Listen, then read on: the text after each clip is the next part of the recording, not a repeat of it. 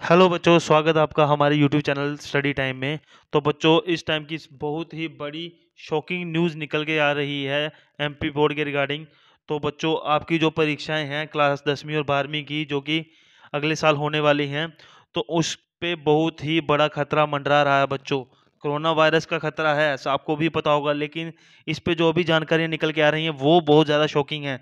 तो बच्चों, वीडियो को लास्ट तक ज़रूर देखिएगा, बिल्कुल भी स्किप मत कीजिएगा, क्योंकि आपके फ्यूचर का सवाल है। बच्चों, जैसे कि हमें पता है कि दो दिन पहले प्रधानमंत्री जी आके यहाँ बोल के गए थे कि जो पंद्रह से अठारह साल तक के बच्चे हैं, उनको वैक्सीन दी जाएगी, चार से पाँच जनवरी से शुरू कर दिया जाएगा। आई थिंक दस जनवरी कहा था।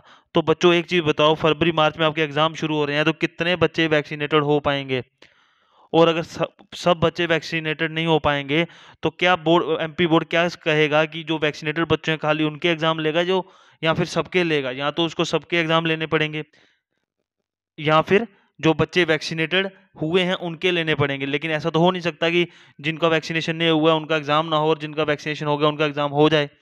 तो यहाँ तो सबके होंगे यहाँ तो नहीं होंगे। लेकिन जिस हिसाब से अभी बच्चों ओमिक्रॉन वायरस बढ़ रहा है तो चांसेस बहुत ज़्यादा बढ़ते जा रहे हैं कि आपके एग्ज़ाम्स में फेर बदल हो सकता है। इसकी कोई नोटिफिकेशन ऑफिशियल अभी तक एमपी बोर्ड ने नहीं दी है। इसलिए मेरी सलाह आपके लिए ये रहेगी कि आप कंटिन्यू आप अपनी तैयारी करते रहिए। कोई अगर ऐसे अपडेट आएगी तो सबसे पहले आपको हमारे चैनल पर मिल जाएगी।